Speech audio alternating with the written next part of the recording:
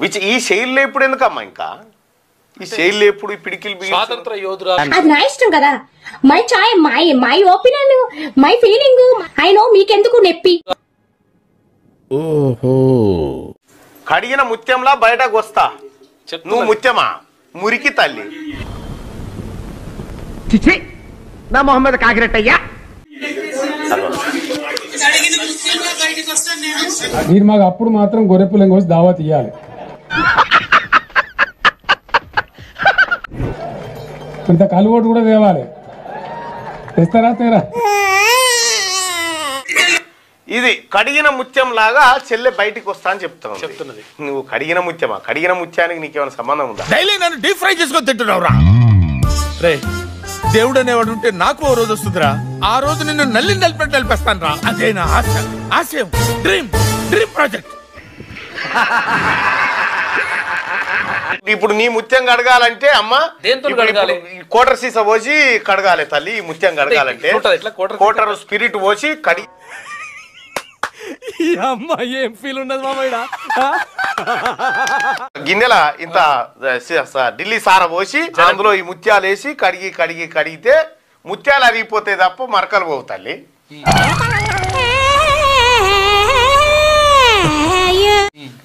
ఏం దందా నువ్వు పోయింది నువ్వు చేసిన పని ఏంది కడిగిన ముత్యం లెక్క బయటకు వస్తావు నువ్వు. అట్ట బాగాలేక అట్ట బాగుండి ఉండి లేకన్నా ఉండ ఏంటికన్నా ఇట్ట బతుక. దెబ్బ. ఇక ఇక ఈమె ఈమె చెప్తా ఉంటే మనం వినాలి. ఈమెను ఇప్పుడు ఆదర్శంగా తీసుకుని ఈమె ఈమెను ఆదర్శంగా తీసుకుంటే ఈ సారదందలు చేయాలి. అందులో తప్పే ఉంది? అది ఆర్ట్.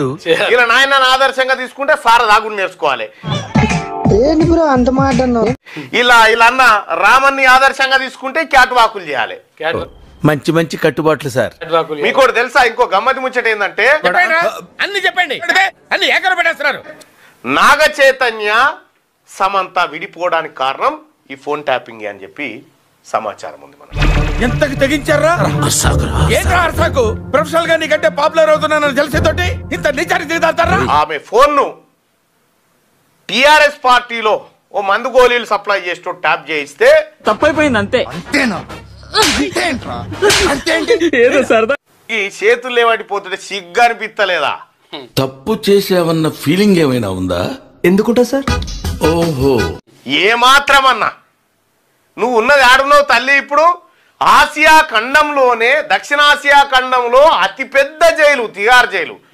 ఎందుకన్నా నెగటివ్ సెన్స్ నాకు అర్థం కాదు? Crisis సిచువేషన్లో? Please I'm very sorry this attitude to change mister Billa రంగలను Charles శోభరాజును ఆ పార్లమెంట్ మీద దాడి చేసిన వాళ్ళను వీళ్ళందరినీ వేసిన జైల్లో అమ్మ కుడికాలు పెట్టిపోయింది పెద్ద స్ట్రోక్ మీద స్ట్రోక్ అనవసరంగా ఎదవనైపోయానన్న మరి అదే నా ఎదవతనంతో పోల్చుకుంటే నీ ఎదవతనం ఒక ఎదవతనం అంటారా?